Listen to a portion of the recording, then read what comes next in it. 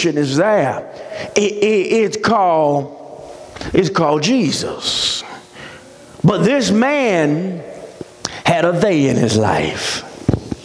Let me tell you something about they. They, number one, if you're taking notes, they can help you for a little while.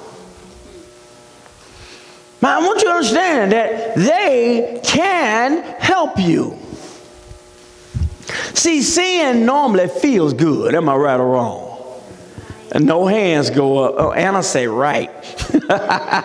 sin normally feels good. Am I right or wrong? Okay. it does. But it ends in a consequence normally and always that does not feel good. I want you to know that they can help you for a little while. There's no doubt about it. Sad and depressed. You pick up that bottle and you consume whatever you consume, it will take your mind off your problem for a moment. How many people agree? So they will carry you for a little while. And I suppose if you have a little while problem, maybe you can let they carry you. But I assure you, we all will go through life. We'll all arrive at a place where we have a problem that's too big for they. And if all we have in our circle, if all we have around us is a few of they, we got a problem. But what I want you to understand about Christ, what I want you to understand about Jesus, Jesus says, I'll never leave you and I'll never forsake you. What is church about? What is this worship atmosphere about today? To invite each of us to enter into a perpetual relationship with the God of all creation. Think about that for a moment. The God that has no beginning and no end. The God who's known you from eternity past to eternity future. The God that knows the hairs on your head. The, the God that gave you a certain fabric that is so unique in your fingertips. The God that put a certain fabric in your bloodstream that no one else has it.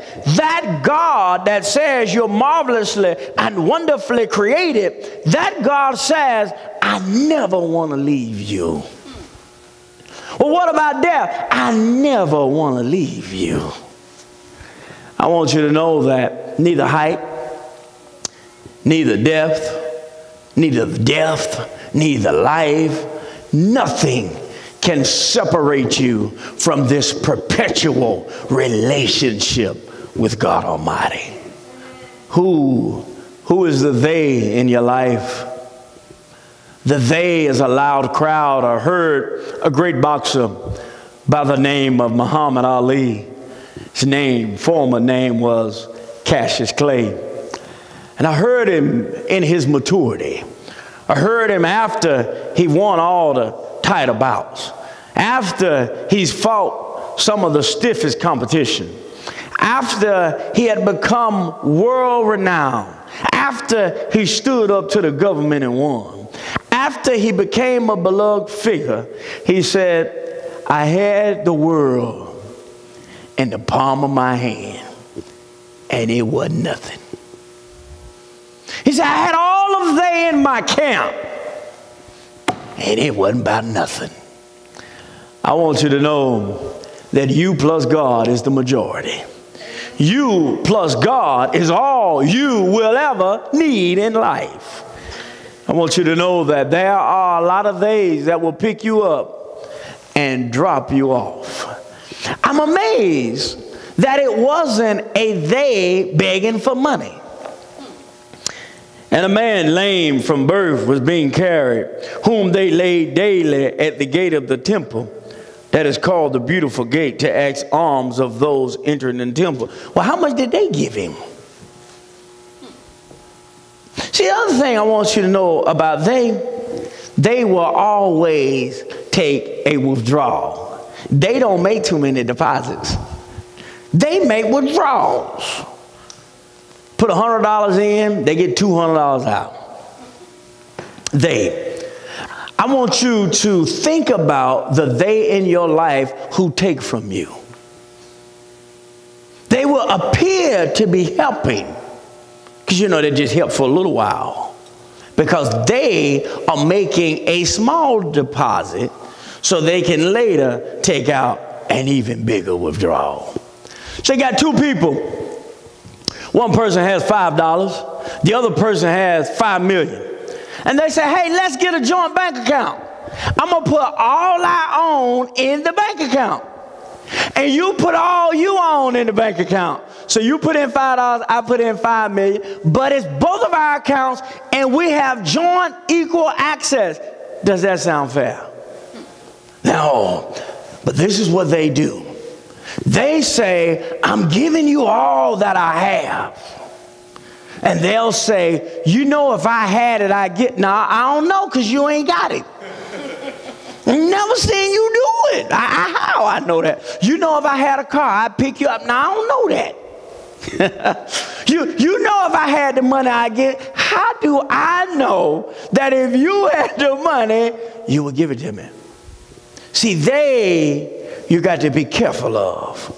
They, whoever they may be in your life, they will eat from you and take from you. They will be whole, and you will be left at the gate all by yourself, asking for alms from another. But I know someone who will make a deposit in your life. I know someone who will take nothing from you but give you all you could ever want, and that is Christ.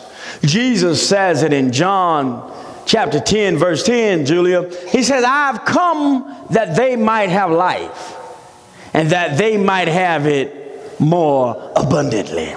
I want you to know that that abundant life, you don't come to Jesus with the abundant life. You come to Jesus and you receive the abundant life. I, I, I, want you to know that life with God is a great thing.